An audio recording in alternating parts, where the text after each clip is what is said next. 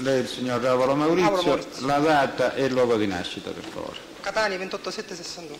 Si dovrebbe avvicinare il microfono. Lei è difeso dall'avvocato Colonna, mi pare, o da chi altro? Colonna, Ugo Colonna dal Foro di Messina. È presente, si deve avvicinare ancora un po' di più.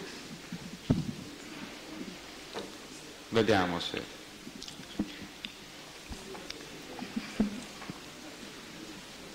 se si sente. E lei vuole rendere le dichiarazioni, vuole sottoporsi all'esame? Sì, Allora il pubblico ministero può procedere. scusi, io chiedo alla Corte se mi possono togliere il paravento. Noi riteniamo che per eh, ragioni di tutela che debbono essere valutate esclusivamente da noi e per la serenità dell'udienza il Parlamento debba rimanere così come è stato fatto con gli altri, signora. Niente. Pubblico Ministero. Signor Avola, quando ha iniziato a collaborare con l'autorità giudiziaria? 94, marzo 94.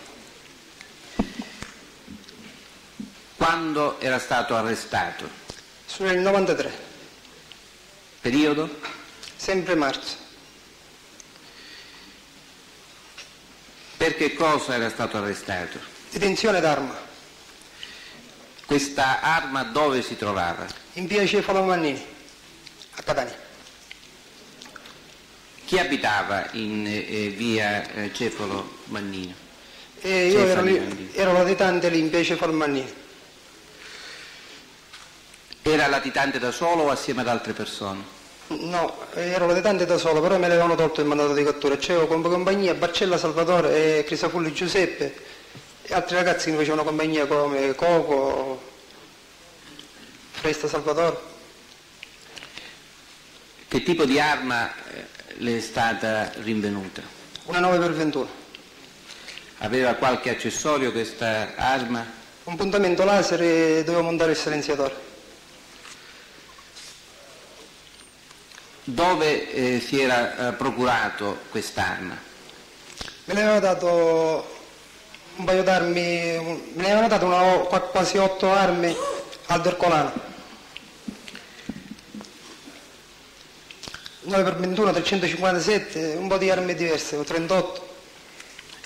E eh, queste armi, eh, Aldo Ercolano e questo eh, puntamento, che cos'era? No, il puntamento laser l'avevo comprato io tramite Barcella in un negozio. In quale negozio? Mi sembra era una traversa di via Tennea dove vendono queste cose. Ar- Armi, vendono armi. E le armi perché le erano state date da Aldo Ercolano? Perché servivano nel gruppo di, di Ognina per commettere omicidi e rapine.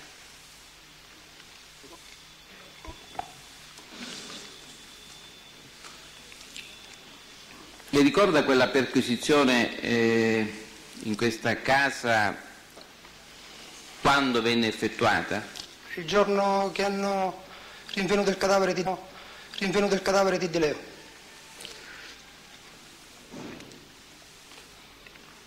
Chi era eh, De Leo? Di un Leo? componente del gruppo di Ognina. Lei ha fatto parte di organizzazioni criminali? Sì, Di quale gruppo? Di quale organizzazione? Santa Paola, A partire da che epoca? 84.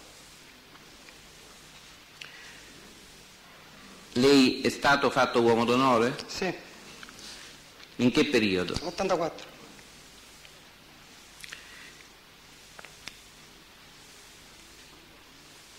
Lei ha commesso omicidi Sì,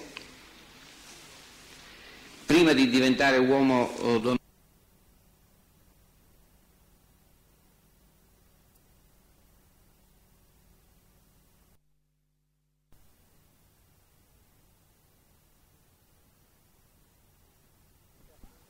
Andrea Finocchiaro. Dopo l'omicidio di Andrea Finocchiaro in ordine di tempo, qual è il, eh, l'omicidio successivo da lei commesso? Da me no, ho partecipato all'omicidio Fava. E quindi E quando ha partecipato all'omicidio Fava era già uomo d'onore o lo è diventato dopo? No, già lo era. E quindi eh, in che periodo tra l'omicidio eh, Finocchiaro e l'omicidio Fava eh, lei è stato fatto uomo d'onore? Era alla fine 83, inizio 84. Chi è stato il suo padrino nella, eh, per diventare uomo d'onore? Aldo Ercolano. Chi era presente alla cerimonia in cui è diventato uomo d'onore? Marcello D'Agata, Salvatore Santapaola, il padre di Vincenzo, Enzo Santapaola, Vincenzo. Vincenzo Mangio- chi? Vincenzo Santapaola, il figlio di Salvatore. Poi? E Francesco Mancion, La Rocca di Caltagirone, suo figlio che è stato fatto uomo d'onore, e un lentinese, che non mi ricordo il nome come si chiama. Due lentinesi anzi. Sa eh, dove è stato, ricorda dove è stato fatto uomo d'onore? Nella zona industriale. E esattamente dove? Era in un capannone vicino alla latteria solo. Era nella disponibilità di qualcuno oh, questo oh, capannone? Di Mancion. Era latitante lì Mancion.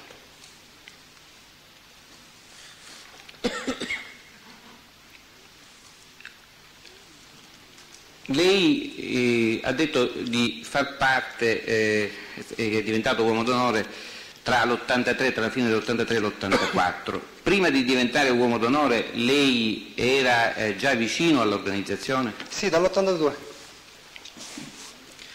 Aveva commesso reati eh, in questo periodo che va dall'82 alla fine dell'83, inizi dell'84? No, eh, mettevo qualche bomba, reato di omicidi parla? No, eh, altri Qualsiasi di- reato, sì, mettevo, ho bruciato qualche macchina eh, che avevano fatto omicidi, eh, Marcello D'Agata, Giammoso, Pistone. Avevano Poi fatto? messo un omicidio. Cioè lei ha bruciato una macchina che era stata utilizzata per commettere un omicidio? Sì, cioè la mia entrata diciamo come ragazzo. E eh, l'omicidio da chi era stato commesso? Signor Presidente, le chiedo scusa e vorrei evitare di interrompere in futuro perché il dibattimento, a mio avviso, in questo momento non va interrotto, però una volta per tutte si deve decidere. Quando si chiede chi ha commesso un omicidio, questo difensore osserva che non intende qui e oggi trattare la causa degli omicidi. Ho già inteso che la spiegazione del movente, che le modalità in, in linea di massima sul perché sia accaduto è un'indagine che la Corte ritiene pertinente, ma comprenderà la Corte che oggi, nel momento in cui si chiede ad Avola chi sono gli autori di questo omicidio, si consente di trattare oggi quello che è il tema di indagine di altro processo separato. Questa domanda specifica ella, Presidente, l'avrà percepita. Chi accoglie commesso- l'opposizione. Grazie. Lei ha detto eh, comunque che aveva eh, bruciato una macchina utilizzata per un omicidio. Di quale omicidio si tratta? Barbagallo, Barbagallo come? non me lo ricordo il nome. Perché era stato ucciso il Barbagallo? Perché erano residui di una guerra che avevano avuto di Santa Paolo con i Ferlito nell'82. Quindi cioè, si trattava di un personaggio che era vicino all'organizzazione dei Ferlito o peraltro Ferlito, no, no, il gruppo Ferlito. Ferlito, Salvatore Pillera lì. Poi ho cominciato a mettere qualche bomba in negozi, alla Peugeot, eh, diverse estorsioni facevo insieme ad Aldo. Abbiamo messo diverse bombe e poi piano piano mi sono inserito nell'organizzazione. A proposito di bombe, ricorda, eh, poi magari ritorneremo specificatamente, ma sin da adesso eh, dove sono state messe queste bombe e contro chi sono state messe queste bombe? Sì, sì, Ce lo vuole dire? sì, sì, ne ho messo una alla Peugeot, oh, una l'ho messa in altra veste di Ateneo, un negozio di, di tappeti, però che è andata in foto queste estorsioni. E poi le altre le facevo senza bomba, le- telefonando diciamo. Allora già stipendi già che trovavo e li aumentavo, ci facevo soltanto la chiamata, soltanto per aggiustare per aumentare lo stipendio. Comunque ne- non ne ho fatte tantissime. Lei eh, ha detto di eh, far parte eh, dell'organizzazione di Santa Paola. Questa organizzazione eh, di quali attività illecite si occupa o si è occupata? Ma estorsioni, omicidi, droga, rapine, a parte i sequestri di persone che in Sicilia non si possono fare. Perché non si possono fare i sequestri di persone in La Sicilia? Cosa Nostra non ammette di fare il sequestro di persone. Lei ha detto che è stato fatto uomo d'onore, eh, ci sa eh, dire eh, quali fossero le cariche della famiglia al momento in cui lei è entrato a farvi parte come uomo d'onore? Sì. Era rappresentante Santa Paola, vice rappresentante Mangion, capodicina Salvatore Tuccio, consigliere Pippo Arcolano e basta, poi gli altri tutti soldati. Ah, Ah, c'aveva la provincia, la provincia ce l'aveva Sal- Salvuccio Marchesi, che poi dopo il pentimento de- dello zio gli hanno tolto la, la provincia. E chi l'ha presa? Per circa un anno io e Marcello D'Agata. E dopo? Poi l'abbiamo passata a Pippo Mansion e poi negli ultimi tempi era di Eugenio Galè, come vice rappresentante, perché il rappresentante era Salvatore Santapaolo. Negli ultimi tempi sto parlando. E prima eh, di avere tale carica il Marchese, e chi era il rappresentante provinciale? No, no, a quell'epoca nell'84 era lui, Marchese. Ecco, dico prima di Marchese, lei lo sa chi fosse il rappresentante provinciale? Io lo so per sentito dire che era eh, uno dei Cavalluzzi, Pippo, che aveva la provincia. Però non me l'hanno presentato neanche con mai come uomo d'onore a Pippo Cavalluzzi. Però sapevo che il Natale e Pippo erano gli uomini d'onore della famiglia Ferrera.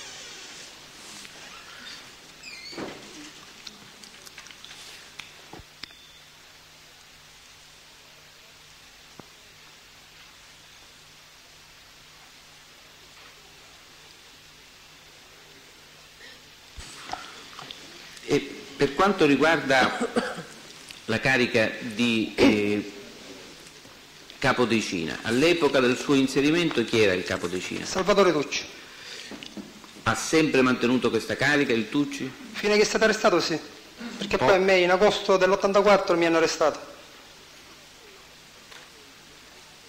E dopo il suo arresto chi ha assunto la carica di eh, capodecina? Ma la carica era, era vuota dopo l'arresto di Tuccio Salvatore, ma diciamo che si interessava Enzo Santapaolo, non era ufficiale come carica Chi? di Enzo Santapaolo, Vincenzo. Non il figlio di Nitto, il figlio di Salvatore. Sì. Però non era ufficiale la carica. Cioè diciamo che ufficialmente Enzo Santapaolo non è stato mai un capodicino.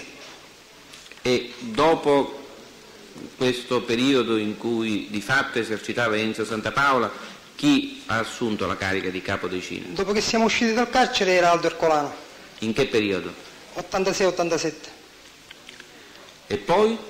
E poi è diventato vice rappresentante Aldo Ercolano, uscendo Car- Carletto Campanella dal carcere è diventato capodicina lui.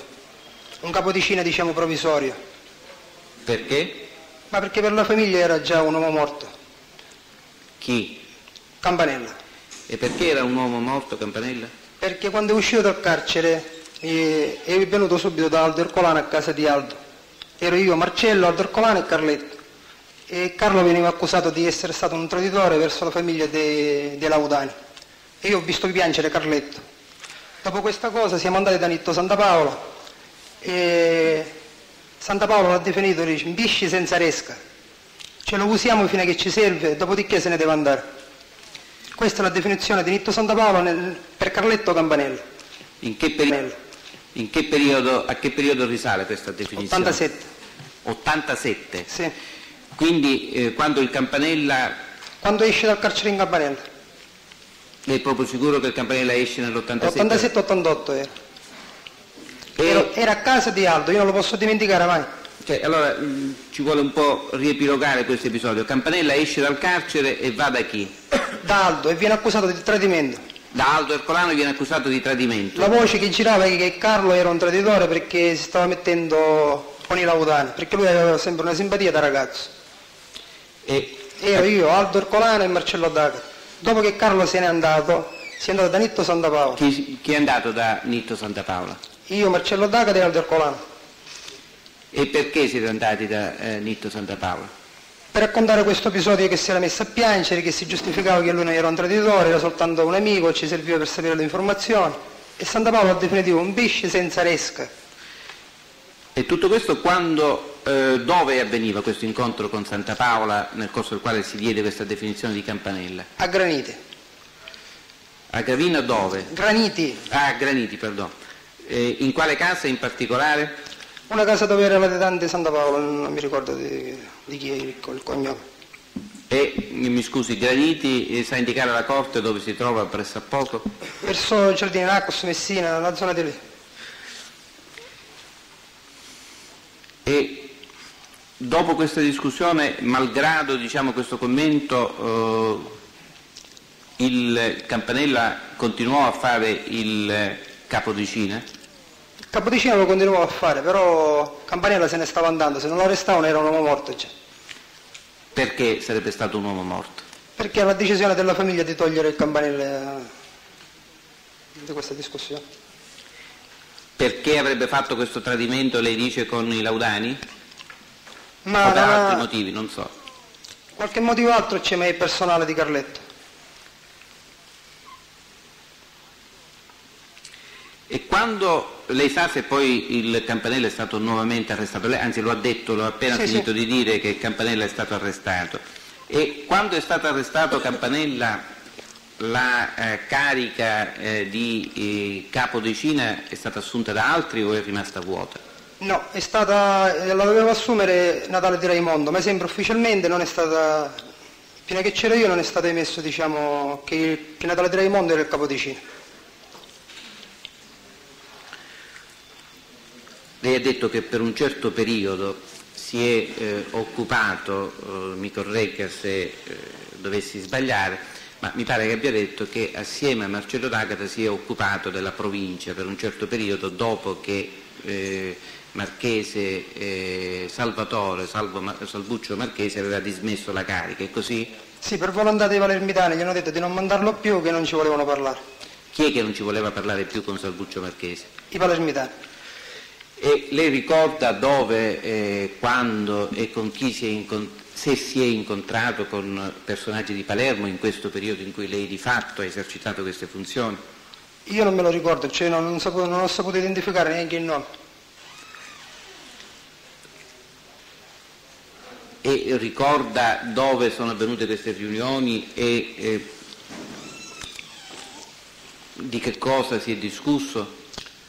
Ma si discuteva dell'estorsione, se c'erano cantieri lì vicino a Palermo, se loro mandavano qualcuno qui a Catania, poi di uccidere il fratello del dottore Montana, perché ci dovevamo fare il favore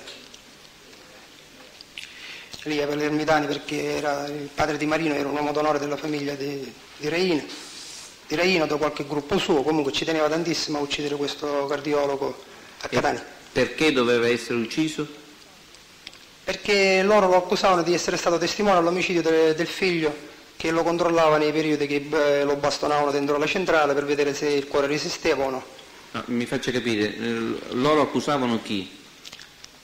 Il dottore, il dottore, E che cosa avrebbe fatto il dottore? dice che avrebbe assistito al pestaggio diciamo, del figlio, Di quale figlio? di figlio di Marino, il cacciatore che hanno ucciso a Palermo diciamo, la polizia, i carabinieri. Eh, co- ma com'è che il cardiologo poteva, eh, aveva assistito a questo episodio? Questo è quello che mandavano a dire i palermitani.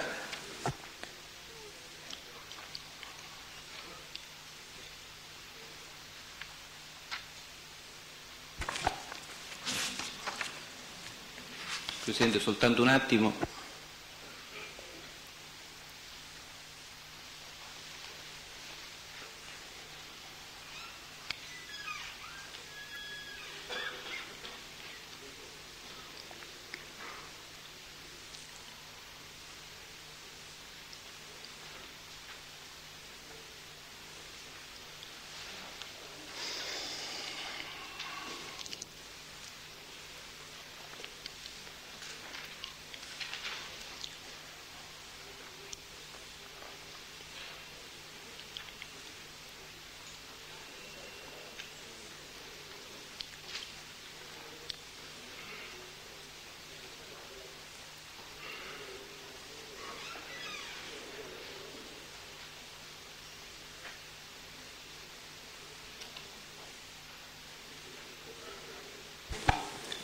Perché eh, poi questo oh, fatto non venne portato a termine? Questo... Perché Nitto Santa Paola diceva che, come era un periodo già della collaborazione di Calderone e tutte queste cose, per non fare collegamenti fra Catania e Palermo, perché si capiva che era un favore fatto ai palermitani, ha, detto, ha deciso di non, non fare più il dottor Montana, questo è il cardiologo. Lei sa se eh, questo dottor Montana avesse eh, parenti eh, tra le forze dell'ordine? Il fratello, che era stato assassinato a Palermo. Il fratello era stato assassinato a Palermo Sì. e lui doveva essere ucciso, lei ha detto perché aveva partecipato, aveva assistito? Aveva assistito al pestaggio, diciamo, di Marino. Chi si è occupato, eh, degli, cioè, eh, chi si è occupato di seguire il Montana, se lo avete fatto, oppure si è trattato soltanto di un progetto nella carta? No, no, l'abbiamo seguito io e Marcello, abbiamo individuato la clinica, proprio era un passo di andarsene, proprio perché ero io, Penuccio Di Leo e Marcello, soltanto che abbiamo sbagliato persona. Solo per un intuito abbiamo capito che non era lui e non è morto un poveretto. In quale clinica? Non mi ricordo la clinica qual era. Comunque verso Canalicchio.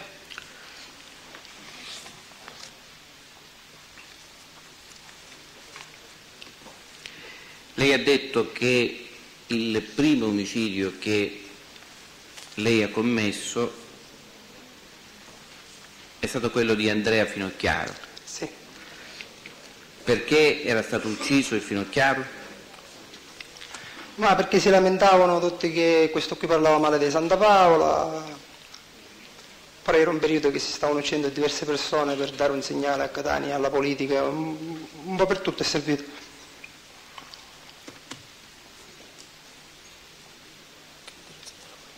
Che significa un segnale? Ma perché noi altri stavamo assassinando anche Andò, a quel periodo avevamo sotto mano Gerrizzo, avevamo Rendo e questo era vicinissimo ad Andò. Ma perché eh, avevate eh, sotto attenzione questi personaggi? Lo so, io all'epoca ero un ragazzo, Marcello mi diceva guarda questo, guarda quello e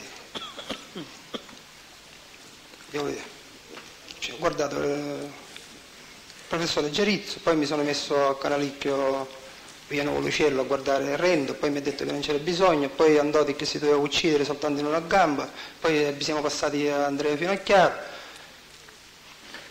E Andrea Finocchiaro invece l'avete ucciso? sì.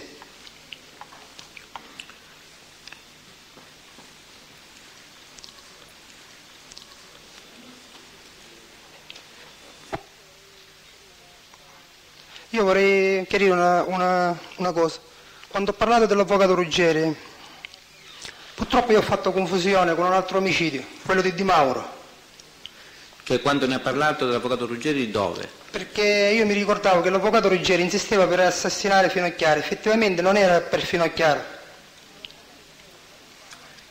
Ma l'avvocato Ruggeri si lamentava che parlava malissimo, era l'avvocato Di Mauro. Presidente, Io mi scuso ma ho fatto confusione. rispetto a dichiarazioni che ha reso, oh, ricorda in quale procedimento? Ricorda in quale procedimento ha reso queste dichiarazioni?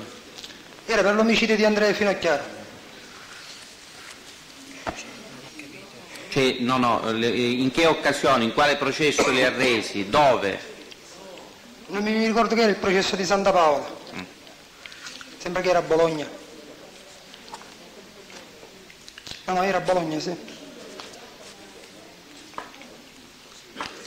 Lei, ritornando alle cariche, alle cariche della famiglia, ci vuole dire il- in che cosa consistono i ruoli del rappresentante, del vice rappresentante, dei consiglieri, del rappresentante provinciale e del capo decina. Il rappresentante è il capo. Diciamo che ogni decisione ci deve essere al di sopra di tutto, la deve prendere, l'ultimo lo deve prendere lui la decisione. Il vice è quello che rapporta tutte le decisioni, quando si riunisce con il consiglio se debbono fare una cosa Parli più lentamente, lentamente. in modo che la possiamo seguire. Diciamo che il vice quando si riunisce che non ci può, dare, non ci può andare il rappresentante, tipo come succedeva da noi altri, che Santa Paola era latitante. Le responsabilità se li prendeva Aldercolano con i consiglieri e poi si riferiva tutto al rappresentante che era Benedetto Santa. Dopodiché c'è il capodicine. Il capodicine è quello che deve organizzare tutti gli omicidi e tutti, diciamo, è una ramificazione che tutto va a finire sul capodicine. Tutti gli omicidi, le estorsioni di tutti i quartieri le deve sapere il capodicine.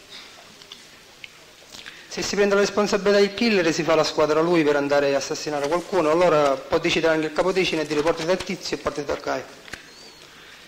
Il vice rappresentante della provincia invece è viceversa diciamo, della città.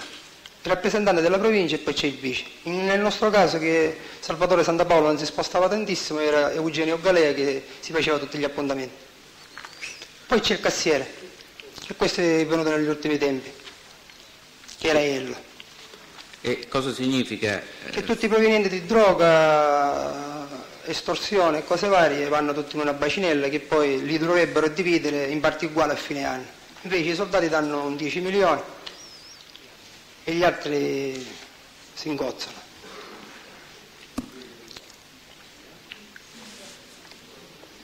E questo ruolo di cassiere è stato sempre svolto dal, dall'Aiello? No, no, negli ultimi tempi, prima sta bacinella ce l'aveva nelle mani Aldo Ercolano, la famiglia Ercolano.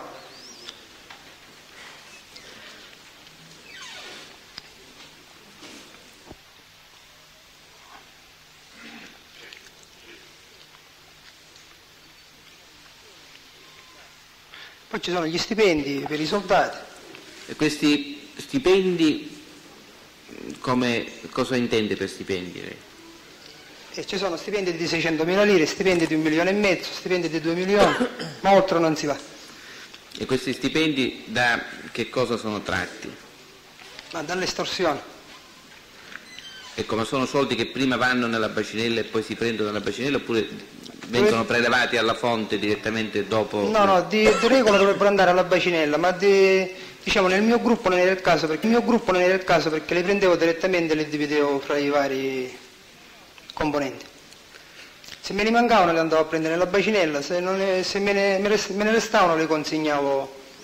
Ecco, ma quando parla di bacinella, materialmente lei ha visto una bacinella oppure la bacinella No, non l'ho vista mai soltanto- sta bacinella. Eh? Mai l'ho vista, mai l'ho vista questi centinaia di milioni. Si parlava che c'era un fondo cassa grandissimo, però per chi non lo so. Perché io una una volta solo in vita mia, dopo 15 anni, 12 anni, ho chiesto un favore di 200 milioni per pagare i debiti della mia casa. L'hanno portata così a lungo che è vergognoso, dopo che io ho portato centinaia di milioni alla famiglia. Oggi, domani, oggi, domani, perché il problema è che mi dovevano assassinare e sembrano 200 milioni morti. Quello che io non ho fatto invece con Di Leo, perché Di Leo il giorno prima di morire mi voleva dare i 200 milioni e io gli ho detto no, perché sapevo che stava morendo, gli ho detto glielo devo lasciare alla famiglia. Invece Marcello D'Agata gli ha fatto uscire 120 milioni per l'appartamento e non gliel'ha fatti ritornare alla famiglia. Cioè, non ho capito, Marcello D'Agata? Sapendo che Pinuccio stava andando a morire, gli fa acquistare un appartamento e gli fa dare l'anticipo di 120 milioni alla spambinata, Chi, eh, da parte di Pinuccio Di Leo? da parte di Pinuccio De Leo.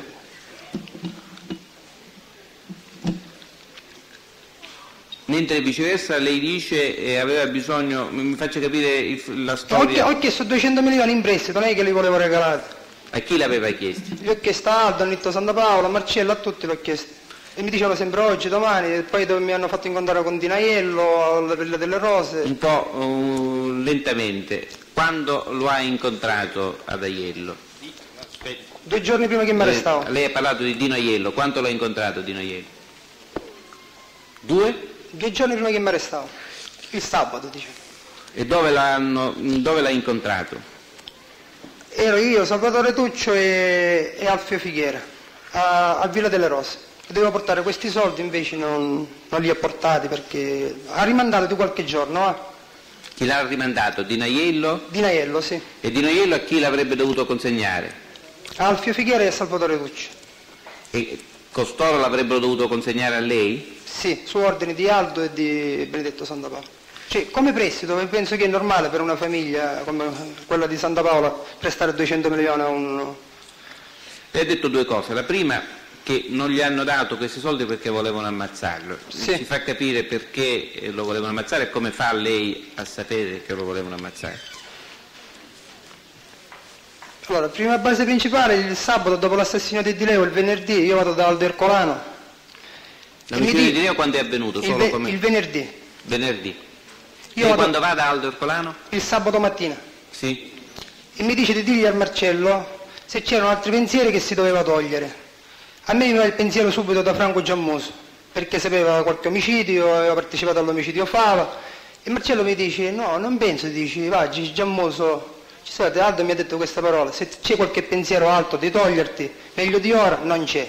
Il riferimento invece era per me, perché? Perché l'indomani io sto andando a mangiare al ristorante, mi prende Marcello Daggett e mi dice no, non c'è andare, vai dici da, da Rosalba, là, come si chiama, Rosaria, e gli fa, che, era la confidente di De Leo. Sì. E gli dice va che non si preoccupa per l'amore, ci sto Marcello, io sto andando a mangiare, insomma ci vado domani. No, no, vacci ora, vacci ora, vacci ora. Andiamo, prende E mia moglie, ci scusi, che giorno della settimana è avvenuto? E la domenica. La domenica. Il messaggio glielo manda sabato al Dercolano. Se c'era qualche E glielo pensiero porta lei stesso il messaggio? Io, io. Sì. Io ero portatore della mia morte, io stesso. Continui. Niente, mi, mi, mi invia lì a tre mestieri. A tre mestieri io, A te fortunatamente, a casa di chi? di Pinuccio di Leo. Sì. Fortunatamente aveva collaborato Pasticcino, Licciardello, e mi trovo nella- in una tipo bianca che era della polizia. E arrivano questi due o tre ragazzi a bordo di una Peugeot che non avevano capito neanche che era una pattuglia. Cioè ho dovuto avvisare io diciamo il capo pattuglia perché ero solo nella macchina che ci stavano uccidendo tutti e due. Questo ragazzo si è un po' impaurito, poi esce la pistola, questi fanno marcia indietro e se ne vanno. E finisce lì. Io non, non ho. Io non non ho detto niente, non mi sono lamentato, era una cosa mia personale, purtroppo il gioco lo sapevo. Eh, ma mi faccia capire perché ha detto per fortuna si è pentito Pesticino? Perché io morivo quel giorno. Se non c'era la pattuglia di polizia sotto la casa di De Leo, io morivo quel giorno. E perché c'era la pattuglia eh, sotto Per- la casa? perché Ricciardello aveva inviato i poliziotti a casa mia dove mi hanno trovato la pistola e parlava dell'omicidio di Leo. E vanno a casa di De Leo per vedere effettivamente se questo ragazzo è scomparso, sì o no. E io trovo la polizia in borghese lì sotto. Lei ha, ha detto che l'omicidio di Di Leo è avvenuto venerdì, che sabato è andato da Aldo Ercolano, che Aldo Ercolano eh, ha fatto quel discorso che ha appena riferito e che domenica il Marcello D'Agata la invita ad andare a casa di, ehm, Di Leo. di Di Leo. Ha anche detto però che era stato, oh, aveva avuto un incontro eh, in un ristorante, eh, lo ha ricordato poc'anzi assieme Sì, sì, a a tutti. delle Rose. Ecco, e questo incontro quando invece è avvenuto? Sabato. Sabato pomeriggio. Sabato pomeriggio. Lei eh, da Aldo Ercolano quando c'era stato? Sabato mattina. Sabato mattina. Da Ercolano dove? In quale casa? Dove abitava? Dove? Che via Nova Luce, via... Vicino all'S Super S, la- quella zona che via Sgroppillo.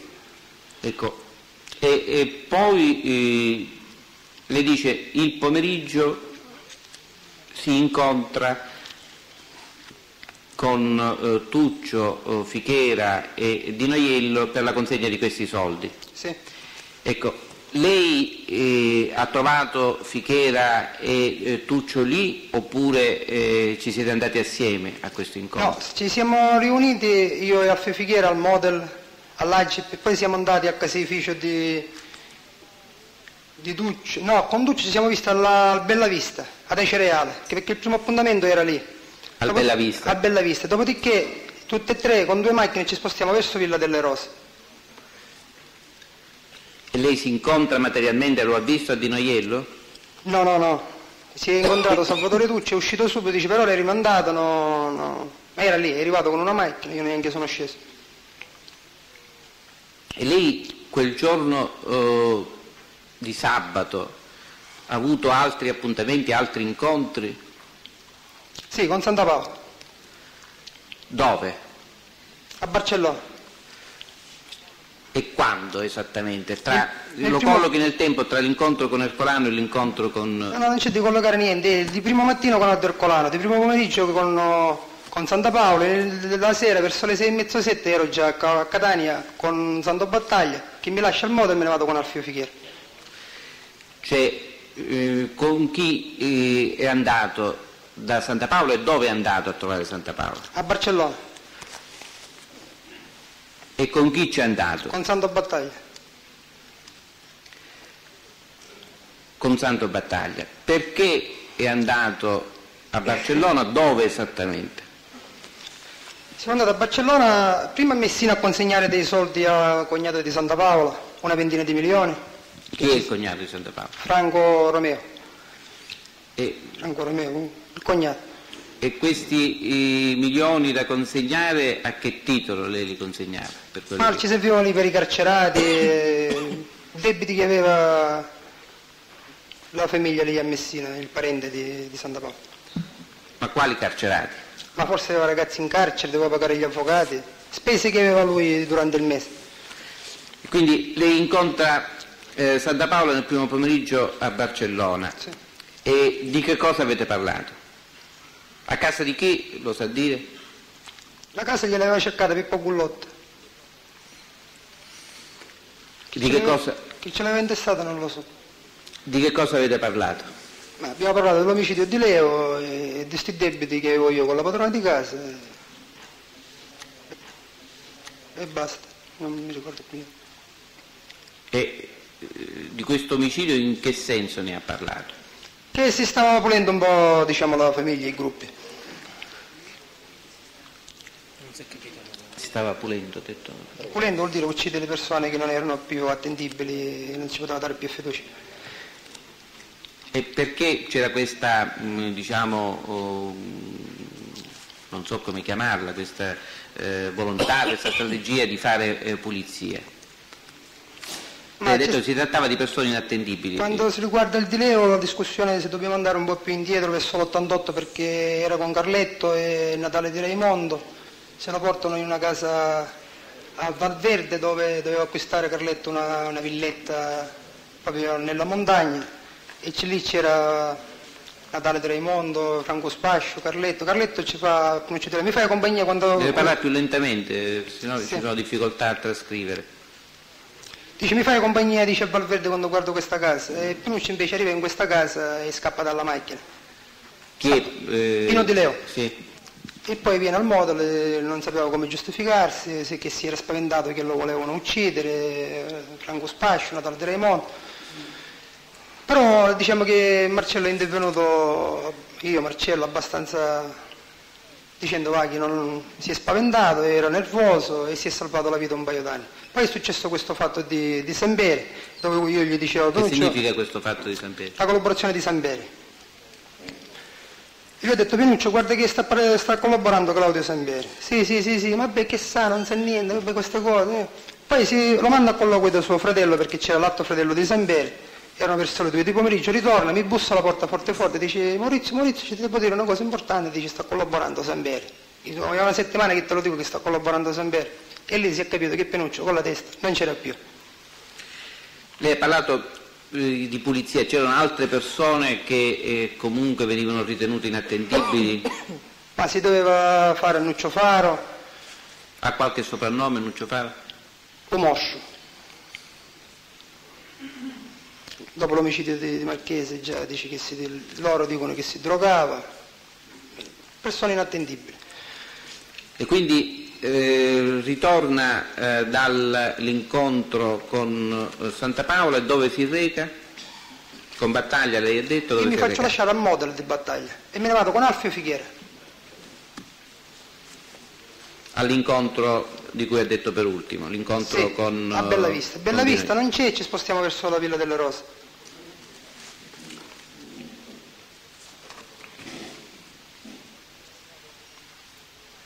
Con, con Battaglia abbiamo parlato dell'omicidio che nel, frattempo che si uccideva Di Leo si, si aveva fatto uccidere anche a Carbonaro, che si era interessato a Battaglia.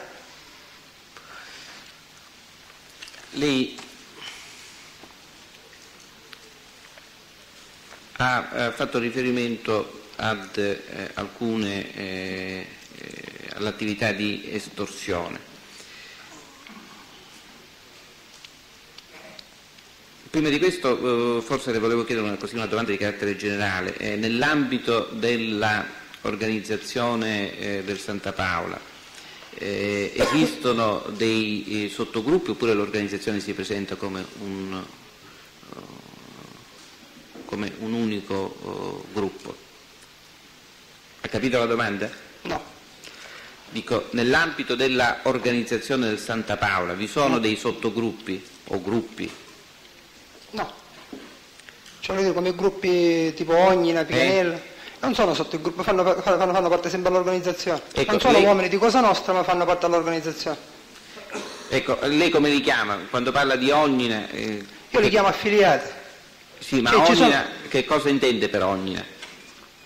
Un gruppo di, di ragazzi guidati da un uomo di Cosa Nostra, nel nostro caso da due, con il Ecco, consigliere allora, insomma, ci siamo in- in- capiti male, però dico questi gruppi, lei ha detto un gruppo di ragazzi, esistono altri gruppi di Sì, questo sì. tipo? Esiste, Di questo sì. tipo? esiste a Piano Tavola, esiste a Montepo, esiste al villaggio Sant'Agata, al, al Bulling. e- Eh, ci vuole dire eh, per ciascuno di questi eh, gruppi eh, chi è eh, il responsabile, il capo, se c'è un responsabile? responsabile. Ecco, Capi non ce n'era. per quanto riguarda il, quello di Ognina, chi è il responsabile? D'Agata. Poi lei ha fatto riferimenti ad altri gruppi, eh, ce li Poi vuole... c'era Natale di Raimondo che era a Montepo, Santo Battaglia al Bulling. Alfa Fighiera prendeva la zona fra Bulling e lo sgabello del pesce. Poi c'era Mattellina Squillaci che era piano tavola. Poi c'era uno che era diretto diciamo da Enzo. Da Enzo chi? Enzo Santa Paolo, Villaggio, ma Enzo è stato sempre, non, è, non è stato mai stabile, ta- girava quasi tutti i gruppi Enzo Santa Paolo, non, non stava con un gruppo fisso, anche se diceva che guidava il gruppo di San Giorgio, però andava un po' in tutti i posti, Montepo, girava lì, Erano, eh, vi erano delle eh, persone che eh, più delle altre erano vicine nell'attività illecita al, eh, ad Enzo Santa Paola? Sì, sì, aveva il gruppo, diciamo, quello più affiatato era con Branciforte, Di Fazio, ragazzi che lui ci stava più vicino. Facevano rapine, facevano omicidi, facevano di tutto. E eh, di altri gruppi? Gruppi, ogni gruppo faceva le sue Ecco, no, estorsioni. no, dico, oltre questo, lei ha parlato di questo del bullying, ha parlato di Ognina, ha parlato di piano tavola, ne ricorda altri gruppi? E poi c'era Picanello, Picanello chi c'era come capo? ma c'era Carletto Campanella che era capodicino e poi diciamo che era l'unico più attivo del gruppo. Poi è stato fatto uomo d'onore anche Salvatore Cristaldi, gli ha dato una mano d'aiuto nelle cose. Poi altri gruppi che c'era. Non ne ricordo altri. C'era questo qui che diciamo che non era un gruppo, era dove c'era la Renault in via Leoni, ma non era un gruppo, lì ci, ci riuniamo diciamo tutti quanti. Non lo so se lo definire un gruppo, un- non lo so come definirlo quel posto. Cioè, vi riunivate? Io dico il cuore, va, perché se ci si andava tutti lì perché si trovava Aldo Ercolano e non lo so, va. Non era un gruppo vero e proprio, perché in quel gruppo dove si può indicare come gruppo erano tutti, tutti vecchietti, tutti spacciatori di droga, tutte cose che a me non mi interessavano. Tipo un Sant'Onicito, altre, altre persone che a me non mi interessavano, va. E, eh, chi erano queste persone? Ma non lo so, era un gruppo lì che era guidato da Pippo Mancio, no? ma sempre cose di droga che io non mi, non mi mischiavo, diciamo. va, non- Ecco, in questo eh, gruppo che si occupava di droghe chi c'era oltre eh, Pippo Mangio? Non lei ha detto, poi ne ha nominato un altro. Licciardello, Licciardello il cognato di Mangion, E poi? poi un altro vecchietto, non me lo ricordo il nome. Mi pare che l'abbia fatto, se non ricordo. Sì, ma non mi ricordo ora di preciso questo gruppo. E eh, lei ha detto che questo gruppo si occupava di droga, c'erano altri gruppi che si occupavano di droga? Ma qualcosina negli ultimi tempi era Natale Raimondo che si era messo con Angelo Santa Paola con questa droga, negli ultimi tempi però. E noi altri come gruppo del Model, tranne Marcello che ha fatto un investimento con del fumo, però a malincuore soltanto perché era senza soldi, non lo voleva fare. Qual è Poi, poi se ci voleva mettere un po' Franco Giammoso invece ha mollato tutto, non, non era cosa per lui neanche. Gruppo Ognina Franco Giammoso. E che significa che Giammuso eh, aveva... Cioè, ci vuole chiarire questa No, storia è di stata Giam- una vicenda che io mi trovavo al motel e è venuto Sant'Anocito, quello Carmelo Monzù. E Carmelo Munzu dove... È venuto al motel, E chi è questo Carmelo Munzu? Uno che fa parte del gruppo alla famiglia Santa Paola. Spacciato, no spacciatore, grossista di droga, perché non lo definisco spacciatore. Di quale eh, gruppo? Sempre lì via Leonio. Questo è il gruppo di, di ste- Quindi signori lei ha visto, ha visto a Munzu al motel Agip? Al motel L'Agip? al motel Agip e dopo qualche 10 minuti, un quarto d'ora, cioè a me mi dava fastidio che questo che stava qua, perché lo sapevo che portava soltanto guai, finanza, cose, sempre, era conosciuto diciamo nell'ambito della droga. Domani scusa, suo cammello, ma lei che cosa fa qua? Ah, dice, devo aspettare a Franco Giammoso. E cosa deve fare lei con Franco Giammoso? Ah, dice, quando ci viene una cosa, eh, me la dia a me, e mi ha dato un pezzettino di carta che mi sono Perché lo chiamava di lei? Lei a Giammuso? Mi Io a tutte le persone grandi chiamavo di lei. E che Giammuso era... eh, No, no, ah, sto parlando per Sant'Anocito. Ah, sì. E mi ha dato un pezzettino di carta, proprio di un- mi sono schifato io stesso. Comunque me la sono messo in tasca, è arrivato Franco Giammuso, gli ho detto tre parole, che gliele può confermare se è un uomo veramente, e mi ha giurato su suo figlio, quello malato, che non ne toccava mai più. E ci credo che non ho toccato mai più. Questo solo, abbiamo avuto solo questa cosa al modulo, di questa schifezza, sta bustina, che l'avevo visto solo nei film veramente. Lei ha detto che eh, Marcello D'Agata aveva fatto un investimento, sia pure a malincuore, perché era senza soldi, eh, Sì. per che cosa? Era del fumo che doveva arrivare lì, che si stava interessando Francesco Manciano da- dai paesi di dove si importava questo fumo. E gli hanno messo 50 milioni a testa, e di cui io no, gli hanno messi soltanto Marcello Daga. Però è andato male perché sto fumo è stato, è stato trovato a mare dalla finanza, comunque hanno avuto- gli hanno sparato.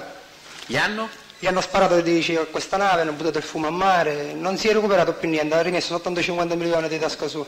Le ha detto hanno messo, eh, ci hanno messo a testa 50 milioni. Gli altri che hanno partecipato a questa operazione?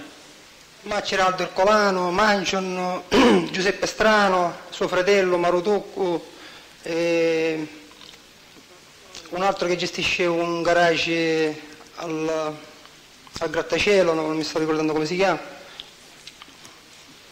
Diversi- diverse persone hanno messo 50 milioni a testa. e lei come fa a essere informato di questa operazione? Io sono informato perché sono andato con Marcello D'Agata in via Battello, dove c'era un latitante Mancion. E questa casa di Via Battello sa a chi Era di appartiene? un nipote di- della famiglia Mancion, ora se di sorella, cugino, comunque un nipote all'infuori. Per non andarci la polizia era un nipote all'infuori. O non ce l'aveva registrato. E Marcello parla con, con Mancion dove si parla di questa droga, questa cosa. Marcello voleva fare a modo suo, invece Mancion e qui comando io, si fa come dico io, e così era ubriaco. Ha maltrattato Marcello come una pezza. E Marcello zitto zitto ha consentito sta cosa dicendo a me che Ciuzzo sbagliava, però fatto sta che non, non ha fatto niente. Perché Cioè, era non, ho ubriaco facile. non ho capito qual era la materia, se c'era una materia del contendere tra Perché Mancion Marcello e si voleva, si voleva la- Marcello voleva fare lui questa, questa operazione, diciamo, nel senso di, cioè, di non ragionare più con la mentalità di Manciano, ancora i gommoni, queste cose. Marcello è, un po' più avanzato come idee e forse che ci riusciva. Invece loro sono con la vecchia mentalità, io con i miei compagni, con Peppusciano, con questo, con questo. È passata diciamo, la parola di, di Manciano, che poi è andata male però. E eh, chi altri era presente eh, in questa casa di Via Battello? Strano. Del fatto che eh, fosse coinvolto il titolare del eh, garage centrale, e lei come fa a, a esserne certo? Perché poi l'ho rincontrato sempre lì che stavano parlando di questa, di questa roba e poi è venuto al Quando modo l'ha incontrato? ah, un paio di giorni dopo. Ha incontrato il titolare del... Sì. L'ho incontrato in diverse occasioni, anche dove ero davanti a Santa Paola, a Mascalucia, cioè diciamo che non era uomo d'onore ma era vicinissimo alla famiglia. E non ricorda il eh, cognome di questa persona? Non l'ho messo a ricordare. In effetti lei ha fatto, eh, ora troveremo il passo eh, del verbale, in cui lei ha fatto il eh, cognome di questa persona, non riesce a ricordarlo in questo No, momento. no, non mi sto ricordando. Lei sa eh, se eh, questo titolare del garage eh, ha eh, altri parenti? eh, Un figlio, che era vicino a Enzo Santapaolo. e di che cosa si occupava questo? Ma faceva qualche rapina, qualche cosa. Poi gli ha sparato a un costruttore, lì in Piale vicino Corsa Italia, in un bar l'hanno ferito, bar l'hanno ferito, è riuscito a scappare. Era lui e Nino Santapaolo. E perché hanno sparato a questo costruttore? Ma per Nino Santapaolo, perché sia alto che... cioè l'ha fatto di testa sua, va. Infatti è stato criticato perché... E perché, eh, ma il motivo per cui sarebbe stato oggetto di colpi d'arma da fuoco questo costruttore? Ma eh, aveva avuto problemi con Nino Santapaolo. Con? Nino Santapaolo, il fratello di Santapaolo. E ricorda questo episodio dove è avvenuto? Al bar Shell, nel traverso di Corsa Italia. E ricorda l'epoca in cui è avvenuto questo fatto? No, ma diciamo si aggira sul 90. Ricorda il nome di questo costruttore? No, non me lo sto ricordando. Ricorda dove abita questo costruttore? Vicino... Vicino Canalicchio. Esattamente dove? No, no. Era una traversina, ci sono andato a casa, la via non la so di preciso. Sa eh, se nei pressi eh, di questa eh, casa vi è l'abitazione di un'altra persona? Da vicino? Eh?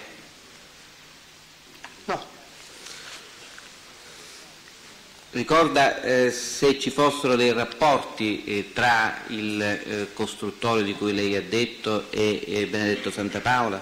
No, era un amico di Benedetto Santapaolo dall'infanzia perché poi Carletto Campanello sul cellulare ci chiama e lo fa parlare direttamente con Santa Paola.